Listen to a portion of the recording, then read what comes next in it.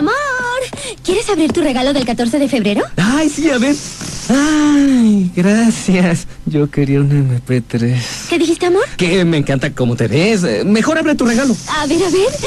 Ay, gracias, amor. Pero yo quería algo de joyería. ¿Qué? No, nada. Ay, quieres una monería. En este 14 de febrero, el amor es muy conveniente. ¡Felicidades! ¡Ay!